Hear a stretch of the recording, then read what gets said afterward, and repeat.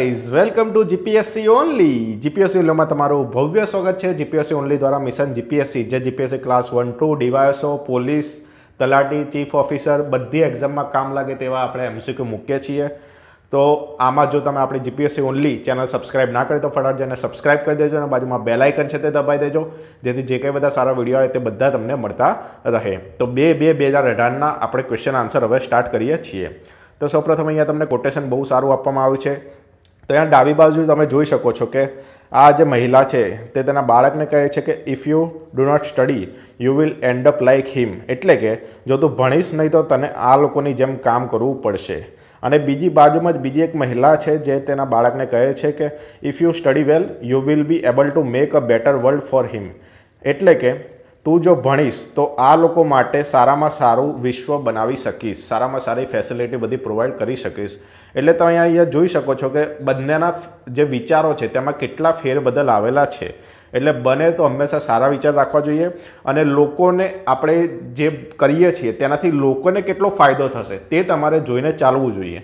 આ જ રીતે એકબીજાને આપણે સપોર્ટિવ અને સારી રીતે મહેનત કરીને આગળ વધતી રહીશું. તો આપણો ભારત દેશ ક્યાંક આપણે સોને કી ચીડિયા જે હતી તે પાછી આવી જશે ને આપણે આખા વિશ્વ પર સારો એવો પ્રભુત્વ હશે. તો આ રીતે જ એકબીજાની મદદ કરો અને હંમેશા સારા વિચારો રાખો અને બને તો હંમેશા એકબીજાને હેલ્પ કરવાની રાખો. હવે આપણે આગળ જઈએ તો આજે લોક હૃદયની રાજકુમારી એટલે કે રાજકુમારી અમૃતા કૌર, જે આપણા દેશના પહેલા મહિલા આરોગ્ય પ્રધાન હતા. તેમનું આજે જન્મદિવસ છે. ઓકે? તો તેમનો જન્મ થયો તો પંજાબ પ્રદેશમાં રાજા હરનામ સિંહના આઠ સંતાનો હતા અને તેમના એક માત્ર દીકરી હતી. પછી તેમને આગળ એજ્યુકેશનમાં અભ્યાસ કર્યો અને પછી મહાત્મા ગાંધી જોડે તેમને મળ્યા હતા અને પછી આ જલિયાવાલા બાગ હત્યાકાંડ પછી પછી તેમને હિન્દી રાષ્ટ્રીય મહાસભામાં સભ્ય બન્યા હતા અને ત્યારબાદ તેમને ઘણા બધા આંદોલનમાં પણ ભાગ લઈ ચૂક્યા છે. જેમ કે ઓગણીસો ત્રીસનું દાંડી કૂચ ઓગણીસો બેતાળીસની હિન્દ છોડો આંદોલન વગેરેમાં તેમને પાર્ટિસિપેટ કર્યો અને તેમાં તેમને જેલવાસ પણ ભોગવ્યો હતો. તે ઉપરાંત તેમને બાળ લગ્ન નાબૂદી, પછી દલિત ઉત્કર્ષ તેમને ઘણા બધા સારા એવા પ્રભુત્વ કરેલા છે આ બધા આંદોલનમાં. તો આ રીતે તેમના વિશે તમે અહીંયા જોઈ શકો છો. હવે આગળ જઈએ તો ઇન્ડેક્સ આપણી શું છે? તો કરંટ અફેર તો તેમાં ડેટ તો બે એક બે હજાર અઢારના અને બે બે બે હજાર અઢારના તમને જે આપ્યા હતા, એ પછી પોલિટીમાં તમને ટોપિક્સ આપ્યા હતા, પછી પહેચાન કોણ હશે, પછી મેં પ્રેક્ટિસ કરીશું, તેમાં આજનું છે તમારો મહેસાણા જિલ્લો. પછી મોક એમસીક્યુ તેના આન્સર તમને બધાને સન્ડે મળી જશે. તો હોપ તમે બધું વાંચીને સારું આવ્યા છો તો હવે જોઈએ છે, ચલો, કોને કેટલું સારું એવું આવડે છે. તો હવે આગળ જઈએ, પહેલો ક્વેશ્ચન છે, તો રણજી ટ્રોફી બીજા સત્તર અઢાર. કઈ ટીમે જીતી? તો એ વિદર્ભ, ગુજરાત, મુંબઈ અને દિલ્હી. તો આમાં આન્સર આવશે એ વિદર્ભ. ઓકે અહીંયા તમે જોઈ શકો છો કે રણજી ટ્રોફી દિલ્હીને હરાવીને વિદર્ભ પ્રથમવાર ચેમ્પિયન બની છે. તો આ રીતે તમે જોઈ શકો છો અહીંયા. આની પહેલાં આપણે બે હજાર સોળ સત્તરમાં ગુજરાત જીતી હતી. કોની સામે? મુંબઈ સામે જીતી હતી. એની પહેલાં આવશે તો મુંબઈ જીતી હતી સૌરાષ્ટ્ર સામે. તો અહીંયા તમે જોઈ શકો છો કે રણજી ટ્રોફી છે. તે ઓગણીસો ચોત્રીસમાં પ્રથમ ટુર્નામેન્ટ થઈ હતી. કુલ અઠ્યાવીસ ટીમો છે અને સૌથી વધુ કામયાબ ટીમ હોય તો મુંબઈ છે, જે એકતાળીસ વખત ટુર્નામેન્ટ જીતી ચૂકી છે. સૌથી વધુ રન જોવા જઈએ તો વસીમ જાફર, જેમણે સત્તર હજાર આઠસો નેવું રન માર્યા હતા અને સૌથી વધુ વિકેટ તો રણજીત ગોયલ, જે છસો ચાલીસ વિકેટો લીધી હતી. હવે તેમના વિશે થોડું ડિટેલમાં જોઈ લઈએ તો આ જે ટ્રોફીનું નામ છે તે આપણા ગુજરાતના જામ સાહેબ શ્રી રણજીતસિંહજી વિભાજી હતા. તેમના નામ પરથી જ રાખવામાં આવી છે. કેમ? કેમ કે આમને એક સરસ એવા બેટ્સમેન હતા, ઓકે? અને અંગ્રેજી ટીમમાંથી તેમને આમને રમતા હતા. તો આમનો જન્મ જોઈ લઈએ ક્યાં થયો હતો? દસ સપ્ટેમ્બર અઢારસો બોતેરમાં થયો હતો કાઠિયાવાડમાં અને તેમનું મૃત્યુ બે એપ્રિલ અઢાર બે બે એપ્રિલ ઓગણીસો તેત્રીસમાં થયું હતું જામનગરમાં. તો આ રીતે તમે અહીંયા જોઈ શકો છો કે તેમને બેસ્ટમેન હતા, પછી ઓર્થર હતા, પછી મહારાજા પણ હતા ક્યાંના? નવાનગરના. પછી તેમણે ઇંગ્લેન્ડ તરફથી રમી ચૂક્યા છે. તેમની ટેસ્ટની શરૂઆત થઈ હતી સોળ જુલાઈ અઢારસો છન્નુંમાં ઓસ્ટ્રેલિયાની સામે. અને લાસ્ટ ટેસ્ટ હતી ચોવીસ જુલાઈ ઓગણીસો બે. એ પણ ઓસ્ટ્રેલિયાની સામે હતી. ઘણી બધી એક્ઝામમાં આ પણ પૂછાય છે કે પહેલી ટેસ્ટ કોની સામે રમેલું, છેલ્લી ટેસ્ટ કોની સામે રમેલા, એટલે આ ઇમ્પોર્ટન્ટ છે. હવે ક્વેશ્ચન નંબર ટુ જોઈએ. ગોગો દહેજ રોપેક્સ ફેરી સર્વિસ વિશે. નીચેનામાંથી કયું વિધાન સાચું નથી? એ ગોગો એટલે કે ભાવનગરથી દહેજ એટલે કે ભરૂચમાં શરૂ થઈ છે. તેનું ઉદ્ઘાટન મુખ્યમંત્રી વિજય રૂપાણીએ કર્યું હતું. તેના દ્વારા ત્રણસો સાહીઠ કિલોમીટરની અંતર ઘટાડીને એકત્રીસ કિલોમીટર થયું છે. તેનું ઉદ્ઘાટન પ્રધાનમંત્રી શ્રી નરેન્દ્ર મોદીએ કર્યું હતું. તો અહીંયા તમને પૂછ્યું છે, સાચું નથી. એટલે હંમેશા સ્ટુડન્ટો શું કહેતા હોય છે કે ફટાફટ જઈને સ્ટેટમેન્ટ વાંચી જાય ગોગો દહેજ ખાલી વાંચી લીધું, પછી ફટાફટ જઈને નીચે ઓપ્શન જોઈ લે છે. અને એમાંથી પહેલો જ ઓપ્શન અહીંયા શું લખ્યું છે કે ગોગો એ ભાવનગર દહેજથી ત્યાંથી શરૂ કરવામાં આવી છે. તો તરત જ પહેલો ઓપ્શન ટીક કરીને આવી જશે. એવું નહીં જોવો કે અહીંયા નથી તમને પૂછ્યું છે. એટલે હંમેશા તમે ક્વેશ્ચન છે બે વખત વાંચો અને ઓપ્શન પણ બે વખત વાંચજો, જેથી તમને ખ્યાલ આવે કે છે કે નથી, શું પૂછ્યું છે. અને તમારે અંદર જે બી ડાઉટ્સ હશે તે બધા ક્લિયર થઈ જશે. તો અહીંયા આન્સર આવશે બી આન્સર આવશે. તેનું ઉદ્ઘાટન મુખ્યમંત્રી વિજય રૂપાણીએ કર્યું નહોતું. એ સાચું નથી. તો અહીંયા ડી સાચું છે. સી સાચું છે ને એ સાચું છે. હવે આગળ જઈએ, તેના જ વિશે તમને માહિતી આપી દઉં. તો આ કેમ અહીંયા આપવામાં આવ્યું છે? તો આ રીતે અહીંયા તમે જોઈ શકો, ગુજરાત મેરીટાઈમની આ રીતે બોટ હશે, તેમાં માણસો અને વાહનો તે પણ જઈ શકાશે. તો અહીંયાથી ભરૂચથી, દહેજથી લઈને પહેલાં અહીંયા જે રોડ દ્વારા ત્રણસો સાહીઠ કિલોમીટર જવાતું હતું, ફરી ફરી ફરી, ફરીને, અને છથી સાતથી આઠ કલાક થઈ જતા હતા. તે હવે અહીંયા આ રીતે આ શિપ દ્વારા અહીંયાથી ફક્ત એકત્રીસ કિલોમીટર એટલે કે એકથી દોઢ કલાક કહી શકાય એટલે તેમાં જ અહીંયા પહોંચી જવાશે. તો આટલું બધું અંતર ઘટી ગયું એટલે દક્ષિણ ગુજરાતનું જે એટલા બી પ્રજા હતી ત્યાંનો વ્યાપાર હતો, તે બધું હવે સૌરાષ્ટ્ર સાથે જોઈન્ટ થઈ શકાશે. તો આ રીતે ખૂબ જ સારું એવું આ એક યોજના છે. તો તેના માટે અત્યારે કેમ આપવામાં આવ્યું? કેમ કે આજે મુસાફરો અને પરિવહન સેવા, બે ફેબ્રુઆરી બે હજાર અઢારથી પુનઃ કાર્યરત થશે, બંધ કરી દેવામાં હતી અને પાછું કાર્યરત કરવામાં આવી છે. અને તેના માટે અહીંયા તમારે ઓનલાઈન રજિસ્ટ્રેશન કરાવવું પડશે બુકિંગ માટે. અને આ તેના ટાઈમિંગ આપેલા છે. જો તમે તેનું ત્યાં તેનું વાપરવા માગતા હોય તો આ ટાઈમિંગ પ્રમાણે તમારે જવાનું થશે અને અહીંયા તમને લિંક આપેલી છે તેની. હવે ક્વેશ્ચન નંબર ત્રણ જોઈએ. ગુજરાત સાહિત્યમાં ભગત સાહેબ જાણીતા એવા નિરંજન ભગતનો જન્મ ક્યાં થયો હતો? રાજકોટ, સુરત, અમદાવાદ, વડોદરા. તો અહીંયા આન્સર આવશે. અમદાવાદ આન્સર આવશે.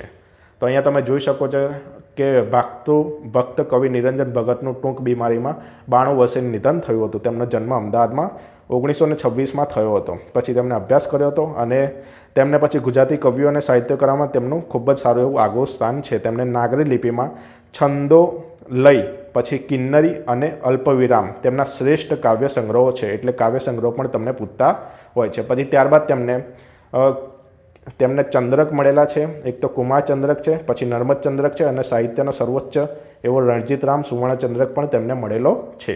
તો આ રીતે પણ તમને પૂછી શકે છે એક્ઝામમાં ક્વેશ્ચન નંબર ચાર.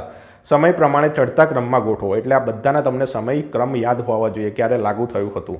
તો રાષ્ટ્રીય ધ્વજ શિકાર એક, રાષ્ટ્રીય ગાન બે, રાષ્ટ્રીય ગીત ત્રણ, રાષ્ટ્રીય પંચાંગ ત્રણ અને પાંચ રાષ્ટ્રીય નદી. તો આને ચડતા ક્રમમાં તમારે ગોઠવાનું છે કે એટલે પહેલાં કયું આવે, પછી કયું આવે? એ રીતે છેલ્લા ક્રમમાં ગોઠવવાનો છે. તો અહીંયા ઓપ્શન તમને આપેલા છે, બધા તમે જોઈ શકો છો. તો આમાં ઓપ્શન પ્રમાણે જઈએ તો સાચું પડશે D option one two three four five હવે કેમ સાચું પડશે તો હવે જોઈએ આપણે.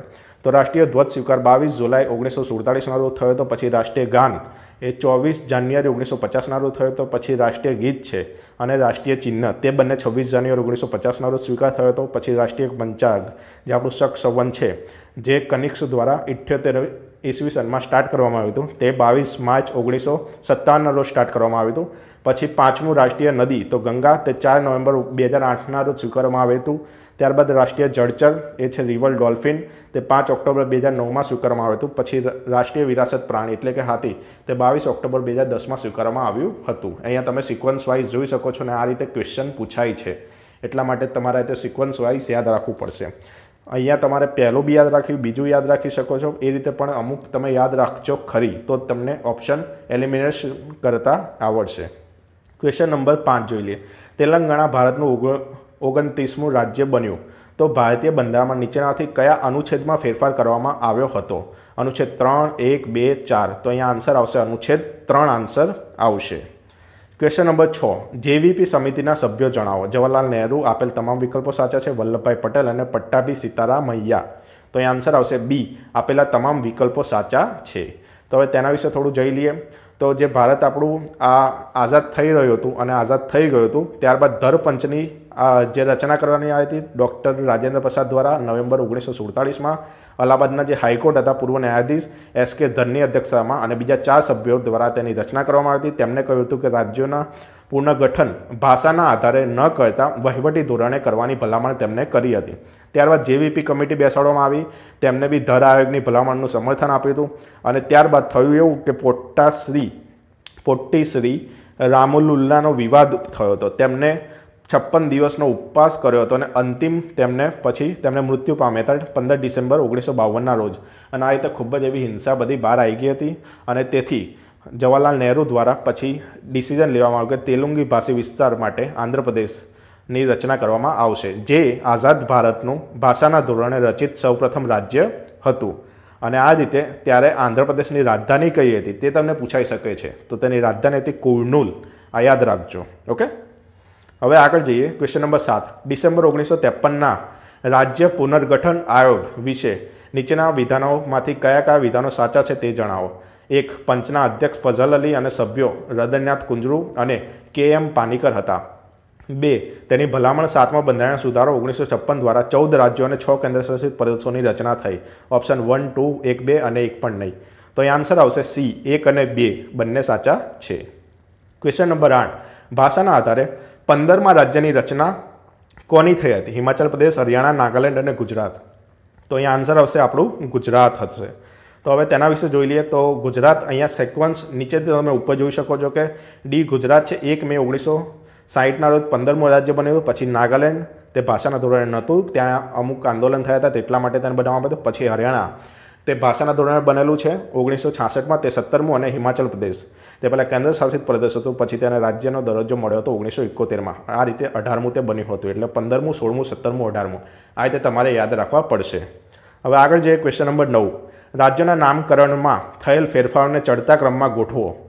એટલે પહેલાં કોનું રાજ્યનું નામકરણ થયું હતું, પછી અંતમાં કોનું થયું હતું, એ રીતે તમારે અહીંયા ગોઠવવાનું છે. તો સંયુક્ત પ્રાંત, તેનું નામ બદલીને ઉત્તર પ્રદેશ કરાયું હતું, પછી લકાદીવ, મિનિકોય, અમીનદીવ, તેનું નામ લક્ષદ્વીપ કરાયું હતું, પછી પોડી ચેરી તેનું પુડ્ડુચેરી કરાયું હતું, પછી ઓરિસ્સાનું ઓડિશા કરાયું હતું. તો અહીંયા ઓપ્શન આપેલા છે, તે પ્રમાણે જશો તમે, તો ઓપ્શન એ સાચો પડશે. One two three four okay હવે તેના વિશે થોડી ડિટેલમાં જોઈ લે. તો સંયુક્ત પ્રાંત ઉત્તર પ્રદેશ કરાયું ઓગણીસો પચાસમાં, પછી લક્કાદીવ તેનું લક્ષદ્વીપ કરાયું ઓગણીસો તોતેરમાં પોડુચેરી, તેનું પુડુચેરી બે હજાર છમાં કરાવ્યું અને ઓડિશાનું, ઓડિશા બે હજાર અગિયારમાં કરાયું હતું.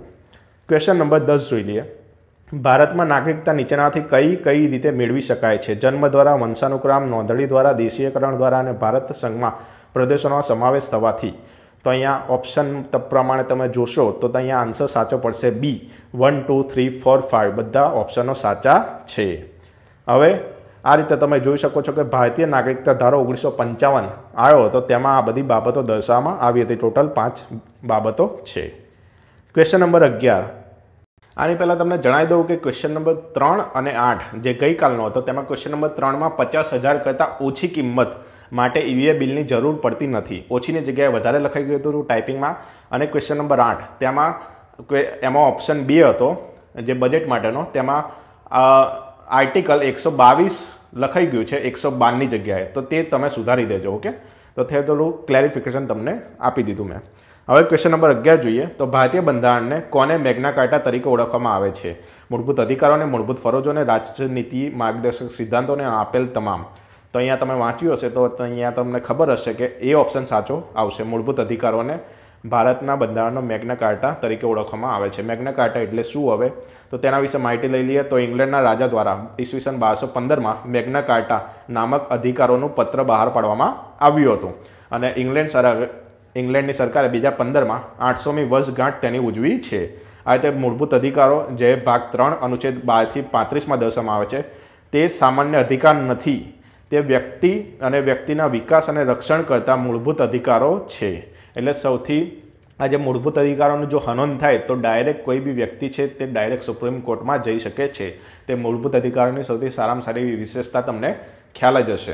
હવે આગળ જઈએ ક્વેશ્ચન નંબર બાર. હાલમાં ભારતીય બંધારણમાં કેટલા મૂળભૂત અધિકારો છે? એ એ છે સમાનતાનો અધિકાર, સ્વતંત્રતાનો અધિકાર, બી, આપેલ તમામ વિકલ્પો સાચા છે. સી, શોષણ સામે રક્ષણ મેળવવાનો અધિકાર, ધાર્મિક સ્વતંત્રતાનો અધિકાર, ડી, સાંસ્કૃતિક અને શૈક્ષણિક અધિકાર, બંધારણના ઇલાજોનો અધિકાર. તો અહીંયા આન્સર આવશે બી, આપેલ તમામ વિકલ્પો સાચા છે. તો અહીંયા તેના વિશે તમને માહિતી આપેલી છે. તો અત્યારે છ છે હાલ, પહેલાં સાત હતા. એમાંથી અનુચ્છેદ એકત્રીસ છે, જે મિલકત ધરાવવાનો અધિકાર, જે ચુમ્માળીસમાં બંધારણ સુધારા દ્વારા ઓગણીસો ઓગણીસો ઇઠ્યોતેરમાં લાવવામાં આવ્યો હતો. તેના દ્વારા રદ કરીને ભાગ બારના અનુચ્છેદ ત્રણસો એમાં તેને અંતર્ગત કાનૂની એટલે કે કાયદાકીય અધિકાર બનાવી દેવાયો છે. હવે તમે અહીંયા એક વસ્તુ હંમેશા ધ્યાન રાખજો, જ્યારે બી બંધારણ વાંચો, ત્યારે તમે આ રીતે જુઓ કે ત્રણસો એ કૌંસમાં એ કરીને હોય તો એ બધા જે આર્ટિકલ છે, એ બધા અનુચ્છેદ છે તે પાછળથી ઉમેરવામાં આવ્યા છે. આ રીતે તમે યાદ રાખી શકો છો. મોસ્ટલી જગ્યાએ એવું જ બનતું હોય છે. ધારો કે ચાર એ છે, જે મૂળભૂત ફરજો છે, તેને પણ તમે જોઈ શકો છો. હવે અહીંયા તમે આપણે જોઈએ, તો સમાનતાનો અધિકાર તો અનુચ્છેદ ચૌદથી અઢાર, પછી સ્વતંત્રતાનો અધિકાર તો ઓગણીસ અને બાવીસ ઓગણીસથી બાવીસ, પછી શોષણ અને, આ શોષણ સામે રક્ષણ મેળવવાનો અધિકાર તો અનુચ્છેદ ત્રેવીસ અને ચોવીસ, પછી ધાર્મિક સ્વતંત્રતાનો અધિકાર તો અનુચ્છેદ પચીસથી અઠ્યાવીસ સાંસ્કૃતિક અને શૈક્ષણિક અધિકાર તો અનુચ્છેદ ઓગણત્રીસ ત્રીસ અને બંધારણીય ઇલાજોનો અધિકાર અનુચ્છેદ બત્રીસ છે. તો આ તે ટોટલ છ આપણા મૂળભૂત અધિકારો છે. હવે આગળ જઈએ ક્વેશ્ચન નંબર તેર. અનુચ્છેદ ચૌદમાં અપવાદ રૂપે નીચેનાથી કોણ છે? રાષ્ટ્રપતિ, રાજ્યપાલ આપેલ તમામ અને સાંસદ સભ્યો. તો એ આન્સર આવશે આપેલ તમામ. એ અપવાદ સ્વરૂપે છે. હવે તમને થશે અનુચ્છેદ ચૌદ શું છે? તો કાયદા સમક્ષ સમાનતા અને કાયદાનું સમાન રક્ષણ.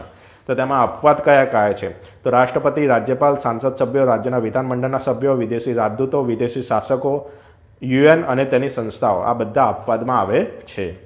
ક્વેશ્ચન નંબર ચૌદ જોઈ લે અસ્પૃશ્યતા, નાબૂદી બંધારણમાં કયા અનુચ્છેદમાં સમાવેશ છે?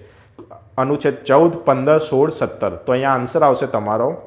જોવા જઈએ તો અનુચ્છેદ સત્તર આન્સર આવશે. ત્યાં અસ્પૃશ્યતા, નાબૂદી બંધારણ આપેલું છે. તો અસ્પૃશ્યતા નાબૂદી બંધારણ અનુચ્છેદ સત્તરમાં સમાવેશ છે. પછી ઓગણીસો પંચાવનમાં અનટચેબિલિટી ઓફેન્સ કાયદો લાગુ કરાયો હતો અને તેનું નામકરણ ઓગણીસો છોતેરમાં સુધારો કરીને protection of civil rights act નામ બદલ્યું હતું.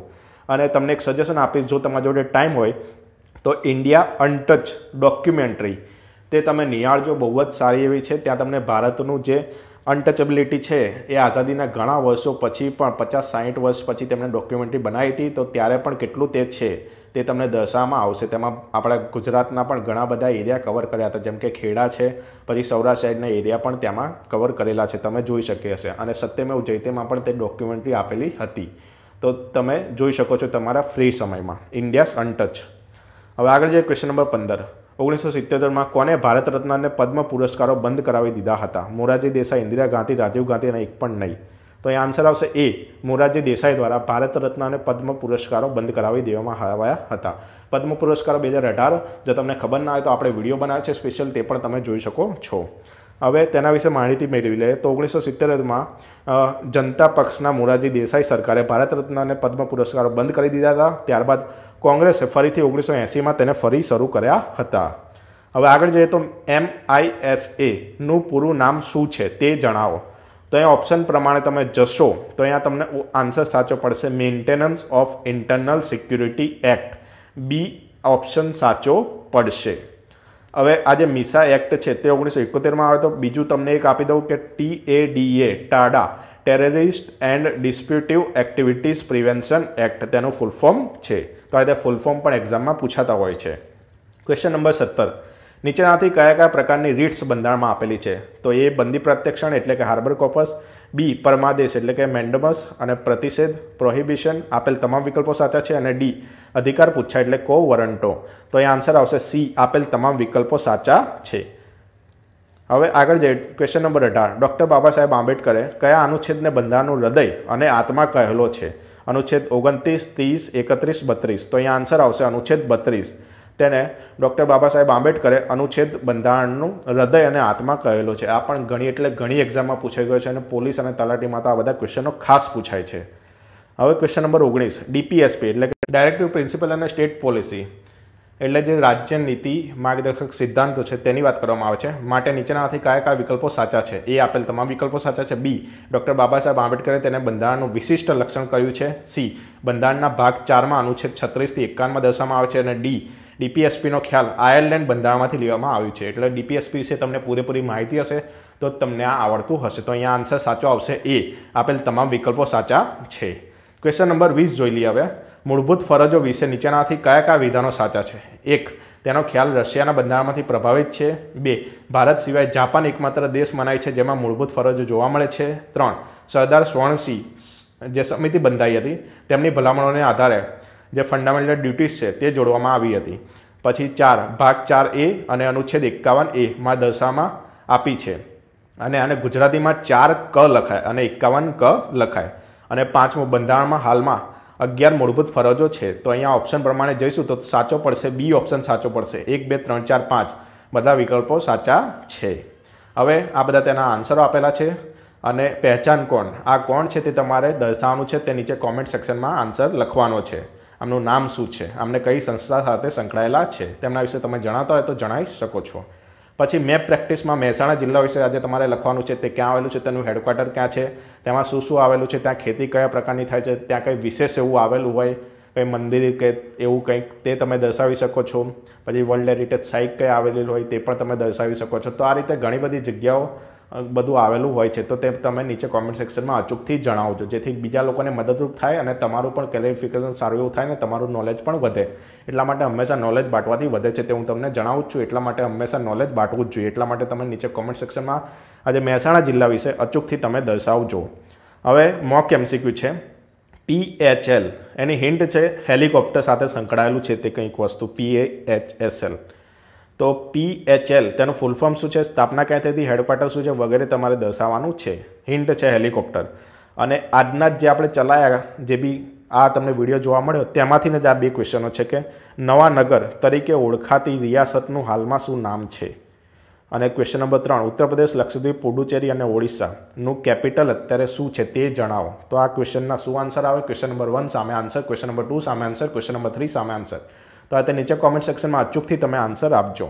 અને તમને એક સજેશન છે કે આપણા જે ફાઇનાન્સ મિનિસ્ટર છે અરુણ જેટલી, તેમની સ્પીચ આવી હતી કાલે બજેટની તો તે તમે અચૂકપણે તમે વીડિયો જોઈ શકો છો. તેની લિંક હું તમને નીચે ડિસ્ક્રિપ્શનમાં મોકલી દઈશ. તે તમે અચૂકપણે જોઈ લેજો. તેના પરથી જ આપણો વીડિયો સારો એવો આવવાનો છે નેક્સ્ટ તો તે તમે જોઈ શકો અને તમારા જે બી કોન્સેપ્ટ છે તે તમારા પહેલેથી ક્લિયર થઈ જાય એટલા માટે. અને આમાં શું થાય છે કે વીડિયો બનાવે તો લોકોના અલગ અલગ મંતવ્યો હોય છે. તો આ રીતે પોતે જ તમે વીડિયો જોવો પહેલાં ફાઇનાન્સ મિનિસ્ટરની સ્પીચ શું છે તે તમે જુઓ તે તમારા માટે ખૂબ જ ઉપયોગી નીવડે છે. એમાં GPSC class one two PI તે બધામાં તમારી ખૂબ જ ઇમ્પોર્ટન્ટ નીવડે છે. એટલા માટે સ્પીચ હંમેશા તમારે જોવી જોઈએ. તો કંઈ એક કલાક ને પચાસ મિનિટની સ્પીચ છે એટલે તમારા જે બી નવરાશની પડો હોય, જ્યારે તમને કંઈક કંટાળો એવું કંઈ આવતું હોય, તો ત્યારે તમે જે બી એ સ્પીચ જોઈ શકો છો. તો આ રીતે સ્પીચ તમને જોવાનું હું સજેશન કરું છું. જેનાથી તમારા કોન્સેપ્ટ બધા સારા એવા ક્લિયર થશે. તો મિત્રો, કાલના હવે શું છે ટોપિક્સ તો કાલનો મિશન જીપીએસસીમાં ત્રણ બે બે હજાર અઢારના ટોપિક્સ છે રાજનીતિમાં સંસદ.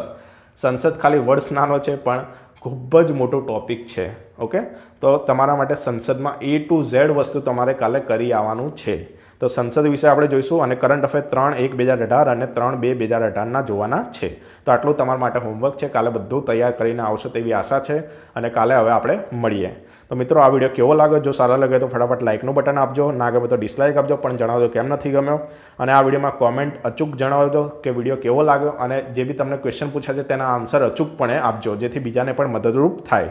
અને આ વિડીયોને શેર કરજો, કેમ કે શેરિંગ ઇઝ કેરિંગ આ એક સારો એવો કોન્સેપ્ટ આપણે સ્ટાર્ટ કર્યો છે. જેટલી તમારા જેટલા બી મિત્રો હોય તે બધાને તમે કહીને તેમાં જોઈન્ટ કરવાનું કહી શકો છો. જેથી GPSC class one two DYSO જેવા જેટલા બી જેટલા બી આપણા જવાન છે, જેટલા બી યુથ છે, તે લોકોને આપણે અહીંયા સારા એવી આપણા તંત્રમાં લાવી શકીએ અને આપણા દેશ માટે સારા એવા કામ કરી શકે. તેટલા માટે જ આ બધી એક્ઝામની તૈયારી કરવા માટે આ બધું આપણું સ્ટાર્ટ કરવામાં આવ્યું છે. એટલે જ આપણું ફેસબુક વોટ્સઅપ ટ્વિટર બધા પર તમે શેર કરી શકો છો. આ મિત્રોને અને જીપીએસસી ઓનલી ચેનલ સબસ્ક્રાઇબ ના કરી તો ફટાફટ જઈને સબસ્ક્રાઇબ આપી દો ને બાજુમાં બેલ આઇકન છે તે દબાવી દેજો. જેથી જે કંઈ બધી અપડેટ આવે, જે કંઈ નવા વીડિયો આવે તે બધા તમને એટ અ ટાઈમ મળતા રહે. અને આપણું Facebook dot com slash GPSC only page પણ લાઇક કરી દેજો. તેમાં પણ આપણે ઘણી બધી જોબ રિલેટેડ ને આ બધા વીડિયો રિલેટેડ જે બી ઇન્ફોર્મેશન છે તે બધી આપે છે. તો ચલો મળીએ છીએ એક નવા વીડિયો સાથે. ત્યાં સુધી રજા લઉં છું. Have a Assam day